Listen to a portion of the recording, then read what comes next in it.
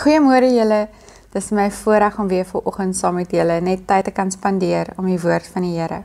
Ons begin vandag met 2 Korintiërs en ons gaan vandag 2 Korintiërs 1 lees.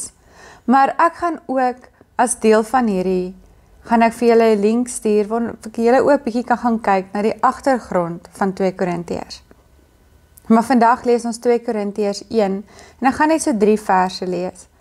So vers 3 tot 5. Maar ek wil jou uitnooi om die hele gedeelte te gaan lees en te luister wat is dit wat die Here vir jou wil sê in hierdie gedeelte.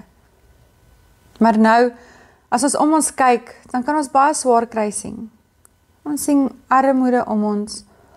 Ons sien mense wat siek is. Sommige van ons se familielede is in hospitaal, ander van ons het al familielede verloor. En ja, daar's klomp onsekerheid by die kinders oor hierdie jaar. Nie eens gepraat van die matrieks nie. Dan is 'n klomp van ons bejaardes ook weer in inperking. Wat 'n ongelooflike eensaamheid veroorsaak. Maar kom ons kyk 'n bietjie wat sê die Heilige Gees deur Paulus vir ons vanoggend. 2 Korintiërs 1 van vers 3. Aan God die Vader van ons Here Jesus Christus kom al die lof toe. Hy is die Vader wat hom ontferm en die God wat in elke omstandigheid moet gee. In elke moeilikheid bemoedig hy ons Daarom kan ons ook ander bemoedig wat in allerlei moeilikhede verkeer. Ons kan hulle bemoedig met dieselfde bemoediging waarmee God ons bemoedig. Want net soos daar vir ons 'n oorvloed van lyding is ter wille van Christus, is daar ook vir ons 'n oorvloed van bemoediging deur Christus. Nou Paulus het in sy lewe het hy al baie moeilike tye deurgemaak. Hy het al baie fisiese en geestelike lyding deurgemaak. Dit was tot op so 'n punt dat Paulus op 'n stadium gesê het dat hy alle hoop om te bly lewe verloor het. En al wat hy oorgehad het, al wat hom staande gehou het, was om sy oë op die Here te hou. Was om op te kyk en die Here te sien en te sien hoe hierdie Vader van ontferming, hierdie Vader van barmhartigheid afkom en hom kom optel. Hy beleef hoe hierdie Here hom hier van sy knieë af optel en hom staande hou. Hoe die Here homself kom bemoedig, hoe die Here self vir hom nuwe krag gee. Hy kyk op en hy sien die God van bemoediging.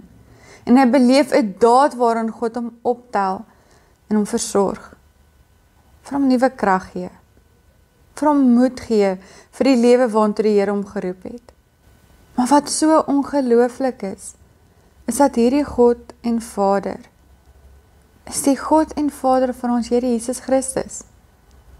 En daarom is dit ook ons God en ons Vader. Daarom kan ons ook ons oë op hom gerig hou. Daarom kan ons ook ervaar hoe hy afpik, ons optel van ons knieë af. Ja, ons bemoedig, vir ons ontferming gee, vir ons nuwe krag gee. Daarom kan ons beleef hoe hierdie Here ons help. Hoe hierdie Here daar is as jy swaar kry op die oomblik. Gee jouself totaal en al aan die Here oor. Gee jou oor in sy hande.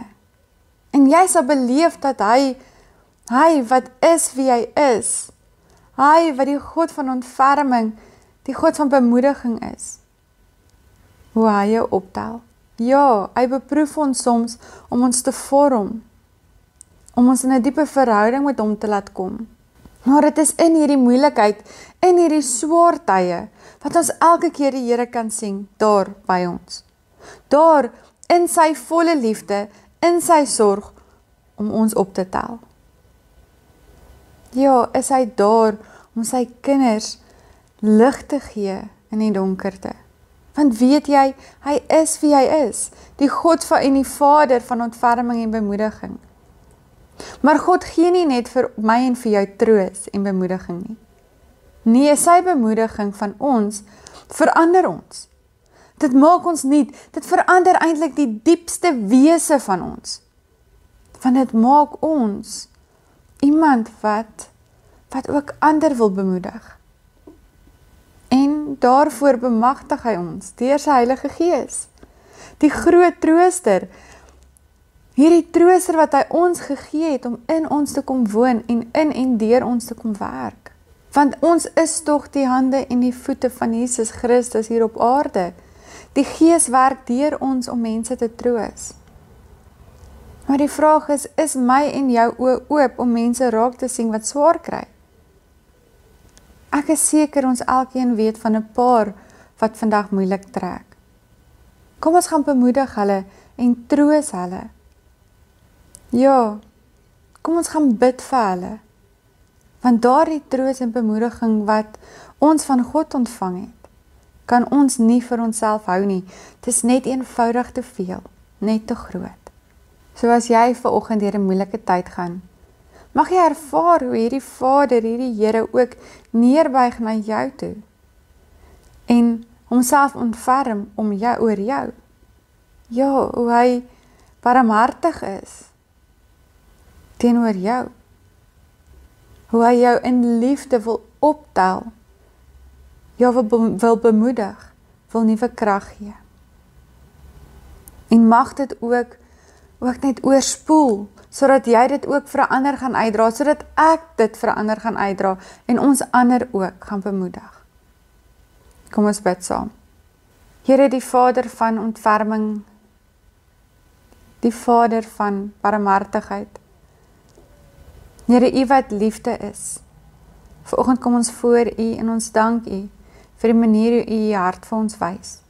Ja Here dat U keer na keer ons optel ons help, ons bemoedig en vir ons nuwe krag gee. Ons dank U daarvoor. En ons bid vir oggend vir elkeen wat deur 'n moeilike tyd gaan. Here mag U ook hulle bemoedig en vir hulle nuwe krag gee. Spirit in die naam van Jesus Christus. Amen.